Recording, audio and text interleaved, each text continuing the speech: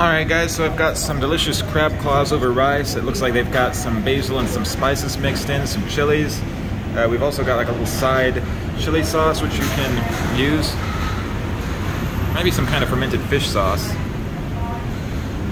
So it, it's over a bed of white rice. I think this is looking really good. I can hardly wait to dig right into it.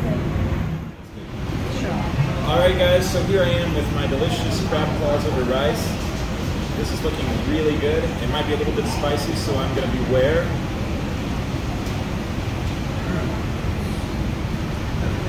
Delicious. Um, and what I like about the white rice is that it helps cut off some of the spice. Um, provides more of a base taste. I do have a couple of peppers mixed in there. The Thai chilies, they do add a lot of spice to it. Tastes amazing. I really like crab. It's too bad crab is expensive. But it's really good.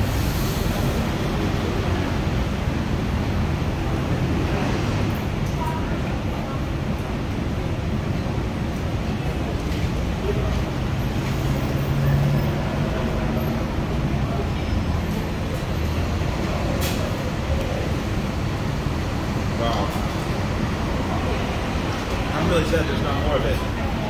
I mean, this is, a, it's not a huge meal, but it is enough to make for a decent lunch. Very delicious meal, though.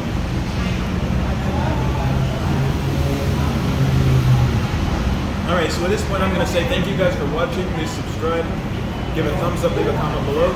Check out these links to some of my other videos. Feel the burn for Burnhearts World and take care, everybody.